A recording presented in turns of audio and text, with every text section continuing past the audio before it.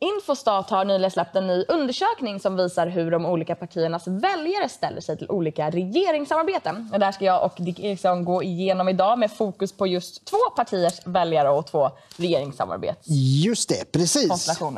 Nej, det är Expressen då som har, har, har använt Infostat och tittat på hur då, eh, Moderaternas och Socialdemokraternas väljare ställer sig till de andra partierna och att regeringssamarbeta med dem.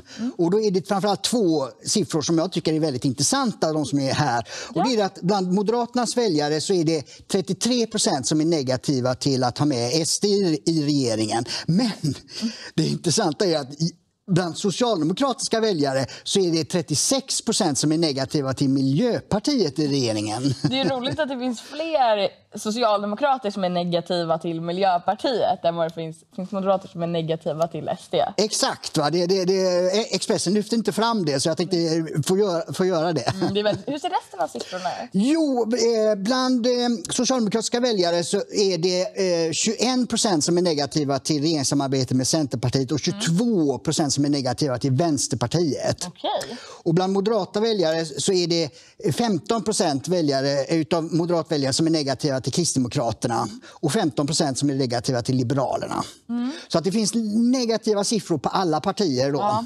Ja, jo det finns ju negativa siffror på alla. Sen kanske man inte är, är jätteförvånad just över det här negativa till Miljöpartiet. Ehm, Nej, och, det, och det är särskilt intressant eftersom de har ju suttit sju år i, i regering.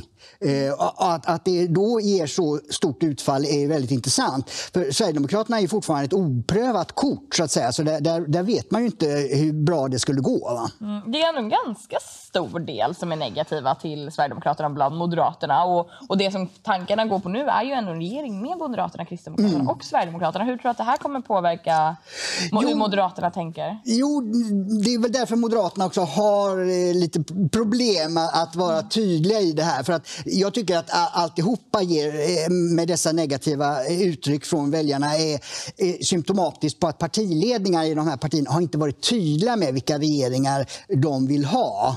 Eh, Och, och då sprider sig ju den här uppfattningen. Ja, väljarna har lite olika uppfattningar och man tar, eh, har inte partiledningarnas eh, guidning med sig eftersom det finns ingen. Eh, men jag tycker ändå att det är inte så stort negativt utfall för Sverigedemokraterna just när man jämför, eh, relaterar till att det är till och med då 15 procent bland moderatväljare som är emot kristdemokratiska, eh, kristdemokratiskt deltagande i regeringen som de ju alltid har pratat om. så att säga.